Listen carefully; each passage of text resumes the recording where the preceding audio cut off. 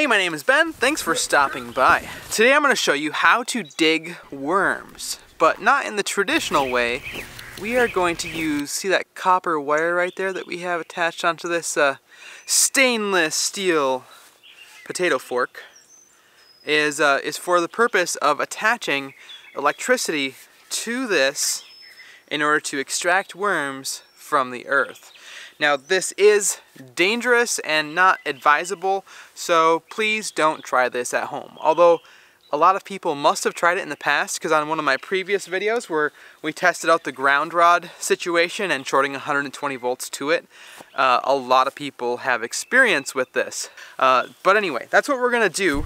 Uh, but real quick, I just wanna mention uh, Olight sent me a couple of flashlights and we're gonna do a review on these guys because we're gonna we're gonna pick some night crawlers in the traditional way and uh, so we'll use these. This flashlight is brighter than the headlights on most vehicles. It is super super bright. And you have a dimmer mode, a brighter mode, and that's pretty much the main thing. When the battery gets low, the flashlight will actually vibrate to tell you. And the flashlight charges using this super cool magnetic adapter that's just snaps right onto the back. It just wants to go on there and charge. So I don't know, just a really nice flashlight, lithium ion, lasts really well, really powerful, really rugged, waterproof. And this is a limited edition.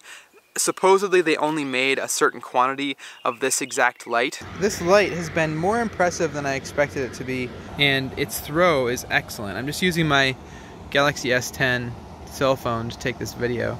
It's supposed to be IP something certified, right? So theoretically if we just uh, dunk this in the water here, it'll be fine. Hey, that looks pretty epic, doesn't it? But look at this, that's more epic. A whole stringer full of fish. But yeah, this is totally underwater right now. Can you see this? Totally underwater. Oh, wow, it's bright. It does work. They also sent over this i5T, and this is just a single double A battery flashlight. And this thing is actually really impressive too. If uh, it does have a boost mode, which is 300 lumens. And with the nice clip that it has here on the side, you can clip it in to your pocket either direction. It's a bi-directional uh, clip, so that's kind of handy. Just a nice little light, and I believe that they are, they have a bundle of these two options together uh, that's actually a pretty good sale. So go check that sale out tomorrow morning, or tonight at midnight I think is when it starts, uh, Eastern time. So I'll link to these right at the very top of the description, the top link right there. If you click on that, that'll bring you over to their sale page. Now, even if you choose to buy something that's not on that exact sale, when you check out, use the discount code BEN in the promo code box when you're checking out, and that should give you a 10% discount on your order. All right, let's uh, dig some worms. Now, I thought we'd just take a couple scoops with the potato fork here and just see how many worms we can get just by digging them out manually. So there's one small worm. Oh, there's one more right there. There's another one. So we took about three scoops and found about three or four worms. So obviously it's a lot more manual labor than than picking them up off the ground. So let's just go a couple feet away and see if they want to come out of the ground directly if we uh, give them a little bit of juice here. So we'll just go ahead and choose a spot here where the grass is a little bit shorter, or the creeping Charlie rather. We have a major creeping Charlie infestation problem. But anyway, so we'll just go ahead and step this guy down. And I think we'll step it down kind of as far as we can just because we want to have as much surface contact area as possible. We're just using 12 gauge wire and a wire nut. And coming across the ground, we've got a switch right there. And then into the panel here, we just have it hooked to a standard 20 amp breaker that's non-GFCI, so it shouldn't trip. I'm really curious how many amps this is going to draw. Uh, as you guys remember on the ground rod video, we were drawing close to 10 amps, but that was a lot more surface area than this. My prediction is going to be about 3 amps uh, if I had to guess, but maybe even less than that. The ground is pretty wet. We did just get some rain the last couple days, so we'll just see what it does. All right, let's power it up. So it looks like we're drawing 1.7 amps. That's uh, going through the dirt and using the dirt as the return path. But we'll just give it a couple minutes here and see if any worms start to emerge from the ground. Oh, there's one. Right there. So a couple worms did come out of the ground, uh, but it's kind of hard to see in this grassy area. So we're going to move over into where there's a little bit more just uh, plain dirt and see if we can get them to come out of the ground over there where we can see them a little bit better. So I'm going to shut off the power before I touch anything and then we'll move it over. We got zero amps, so this is not being powered right now. It's actually really stuck. There we go. And we'll take it out here.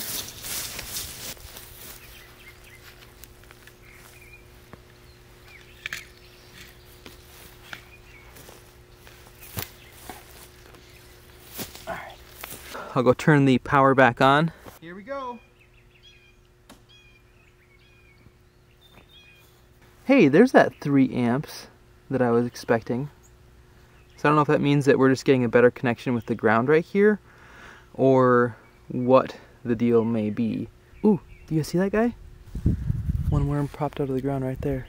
It's a really tiny one, but it is a worm nonetheless. The little guy right there. Oh my goodness! They're coming out all over the place back here. Look behind the.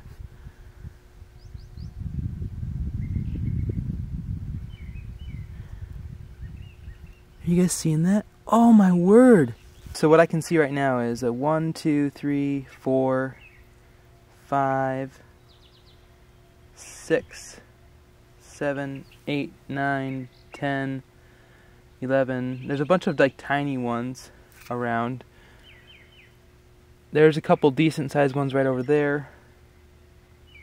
So it definitely looks like it it causes them to, to come out of the ground for a pretty decent radius.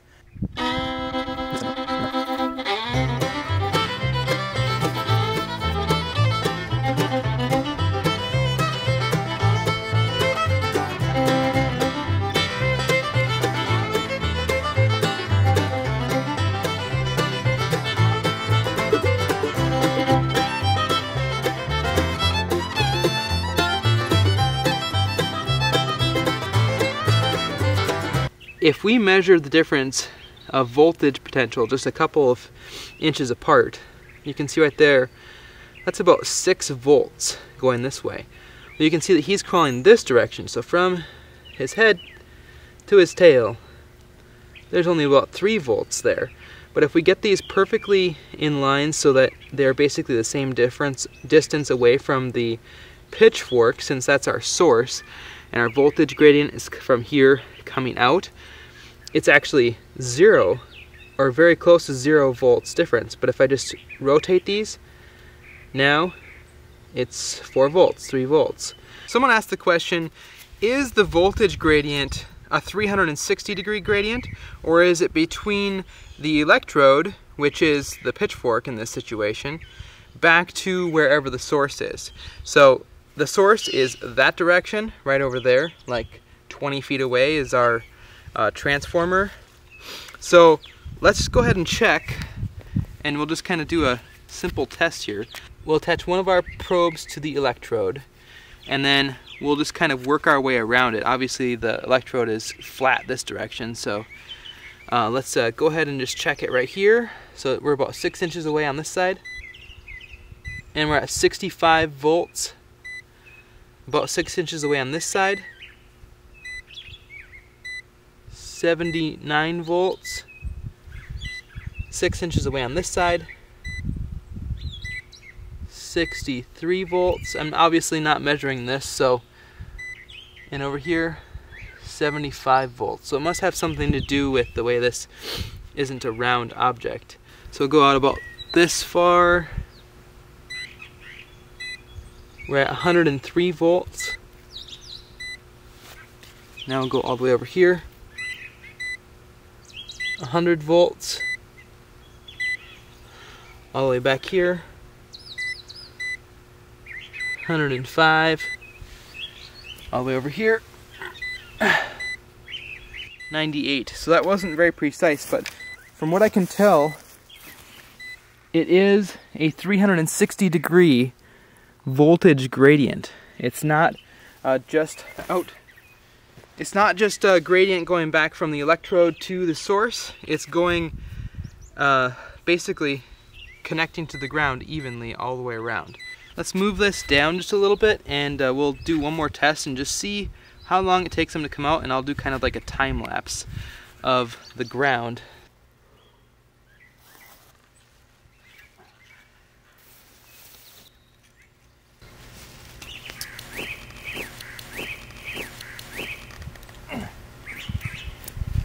Okay, we're turning it on in three, two, one.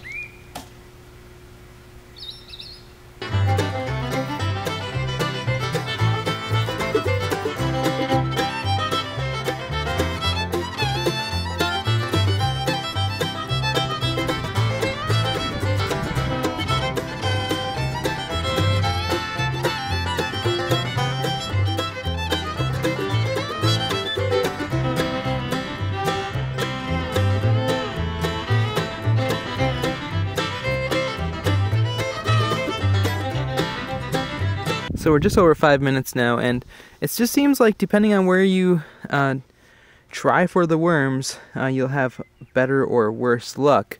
This spot's not quite as good, but you can see we've got several that would be decent for fishing there. Now, the important thing to note is that before you would pick any of these up, uh, you should really turn off the power.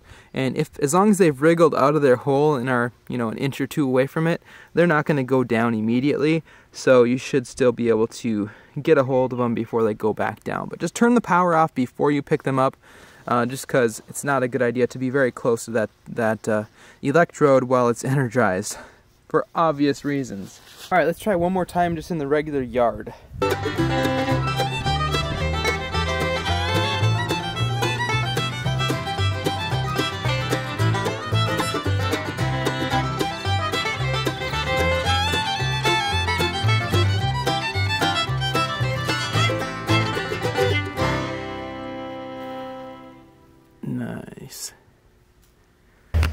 Coming outside here. We're going to go pick some night crawlers using the flashlights. I'm kind of thinking we're going to end up using this uh, smaller light for the most part because the big light might just be a little bit too much, but we will use a little bit of both just to see how it goes. Alright, so with night crawlers, they can like hear you coming. So you have to walk really quietly.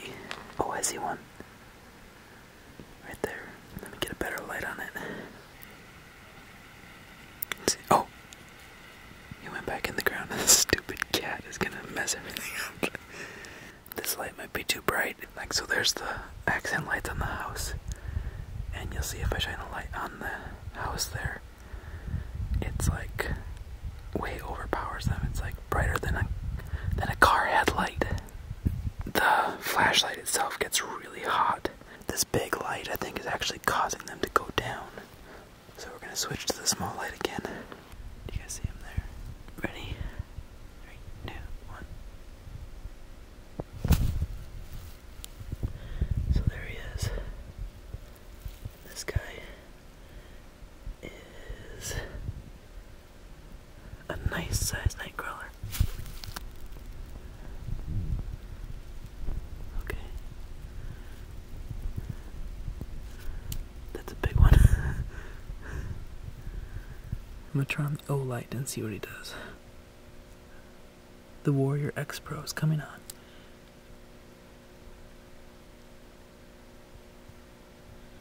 Yeah, it's definitely too bright. He's like, what the heck? I thought it was night. Did pretty good.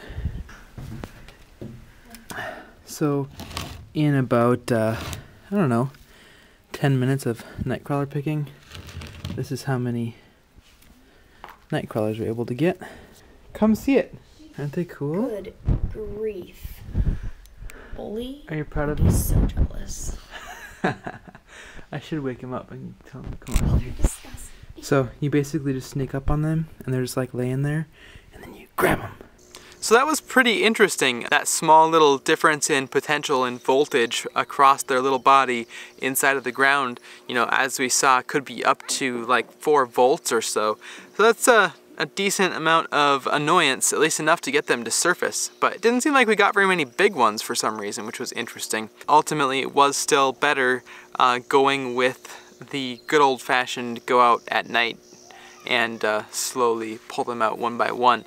I just want to reiterate that you really just shouldn't use that electric method for gathering worms. It's just not the safest thing in the world. So just dig some worms or uh, go pick some at night and that's a much better method. All right, I wanna just uh, finish out the review of these uh, flashlights here from Olight. So we'll start by looking at the Warrior X Pro since that's kind of the main product that we wanna talk about. Uh, here are some of the specifications, our max 2250 lumens and of course they do have their quality five year warranty promise. If you wanna take the time to pause and read what's on the back of the box, this is what's there. And right here with our uh, lumen output, you can see that total output of 2,250 lumens, 1,000 lumens, or 300 lumens. And I think that that has to do with just, uh, it can only put out that 2,250 for a short time when the battery is fully charged. Who is calling me? It's Ruben. Hey there.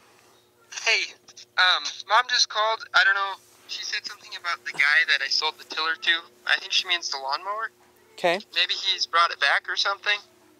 So. Well, he wouldn't I have don't brought. know. I, huh? He wouldn't have brought it back to your house. And right there you can see the different contents and accessories that are available for this particular product. This box has a magnetic closure. Whoa! Oops. And inside of the box, obviously, we have the Warrior X Pro itself, and it comes with this optional uh, lanyard that you can put around your wrist, which is nice, especially for when you're like out fishing or something. And right here is the end switch. This is all metal, which is kind of nice. It's not a rubber uh, switch that's going to wear out uh, necessarily. If we do a light press on it, that uh, brings on the dim mode of 300 lumens. You can see we can still see that pretty bright uh, here in broad daylight, or it's a little bit overcast right now, but still pretty, pretty bright out. And then if we press it the rest of the way, it brings it on to the high mode, which is that 2250 lumens. So that is some serious output there. It's You can feel the heat on your hand. And the head of the flashlight here does get warm pretty quickly because that's the most important thing and the most difficult thing for flashlight manufacturers is heat dissipation because if you don't dissipate the heat properly it will eventually kill those LEDs so you can see they have these cuts uh, made into this aluminum and this thing is substantial. It's pretty heavy and I think that's part of it is that they have a significant heat sink to get rid of the heat. Now this uh, rim on the inside right here it does glow in the dark. I don't really know what the advantage of that would be other than it's just kind of cool. Another thing that's neat about it is uh, when the battery is getting low, it'll actually vibrate. When you first turn it on, it'll go zzz, zzz or just zzz one time to tell you what the battery level is. And it, uh, I only experienced that once when I first got it because of course I turned it on before I charged it. You're supposed to charge it before you turn it on, but I don't know, is that really true? And let me just show you what's inside of it here quick. So there's our end cap comes off just like that. And inside of that is our lithium ion battery, 3.6 volt, 5,000 milliamp hours. So I don't know uh, how much these are to replace, but theoretically you'll really never have to replace them. Uh, oh, and then you can replace this collar here. Pull this uh, back cap off, it just kind of slides out over those O-rings. And then I think you have to remove this clip, and then we can put this collar on here, which is a rubber grip. And then we can replace that uh, battery. And now we have a rubberized grip on here, which is pretty comfortable to hold. And I, I don't know, maybe some of you can explain to me why that's uh, beneficial. And your lanyard attaches to this ring here. So if you want the lanyard, you need to use this particular ring. And uh, here's the battery charger. It is a USB charger, so you can plug it into a battery pack or whatever USB charging solution that you have. And it can accept up to 2 amps of charging, so it will actually charge that light pretty fast. And so the way that that connects is it just snaps right onto the back. You almost, uh, it's like hard to keep it from snapping on, so like even if I try to put it on backwards again here, it just wants to flip around and, and charge the flashlight. So that's probably one of my favorite things is just the how nice that charging mechanism is. Kind of silly, but it's just so satisfying to just go whoop and it turns red I believe while it's charging and when it's finished charging it turns green. So that's pretty much it for the Olight Warrior X Pro Super Tactical Thrower Limited Edition 2250 lumen flashlight. I, I like it a lot more than I thought I would and uh, for the price, you're getting a lot for your money, in my opinion. Um, I'll also link to like the top uh, equivalents from like Surefire and some of the other top flashlight brands in the description if you guys want to kind of compare. I'll see if I can find like a 2000 lumen um, similar rechargeable flashlight to kind of compare. 2 minutes at 2250 lumens, 100 minutes at 1000 lumens, and 23 minutes at 300 lumens. One other thing that's kind of handy or could be handy in certain situations is uh, the fact that this end of the flashlight is magnetic and does stick to stuff pretty strongly. Unfortunately, it's not quite strong enough to hold it straight out, but the magnet is strong enough to be able to hold itself up. This does come in two colors, this uh, limited edition camouflage color, and then also a gray color, which I really like as well. Oh, and it does come with this case, and it has a hole in the bottom, which I'm guessing is so that it doesn't melt. So you can see if I turn this on, you can see that there's that hole in the bottom of the case. And uh, obviously it's very important that you don't accidentally turn on the flashlight. I think that's also why there's a little hole in the top right here. So I don't know for sure, but it's a fairly nice case, but I kind of doubt that I'll be using it. It has a nice magnetic closure, as you can see there. Now this is a pretty inexpensive uh, flashlight. This thing is I think around 30 bucks. Uh, the i5T is that EOS? Simple but special. light. And actually this thing is really cool. At first I thought it was just kind of a basic standard uh, flashlight where you press it once and it, it is what it is. But it actually does have two modes. You can see right here, 300 lumens or 30 lumens. So that I think that 300 down to 30 is uh, like if you leave it on high. So if I tap it once, that's low. And if I tap it again, it'll shut it off and tap it again, it should bring it into high mode. There's high mode. And uh, so what I think the case is, is that as it's turned on to high mode like it is right now, the longer it's on, that battery is going to slowly drain. This is just one single AA battery in here, and the, the lumens will drop all the way down to 30 lumens at the end of 2 hours and 30 minutes. But yeah, you can see the different uh, specifications there. It's IPX8, so you could submerge this thing underwater as well. It's 2.12 ounces, including the battery. And here is the flashlight itself. It's a pretty nice body to it. It feels really substantial and quality. Uh, it has this dual angle clip so you can clip it into your pocket in either direction. Uh, so that is handy. I'll probably be clipping it in this way uh, with the tail switch up.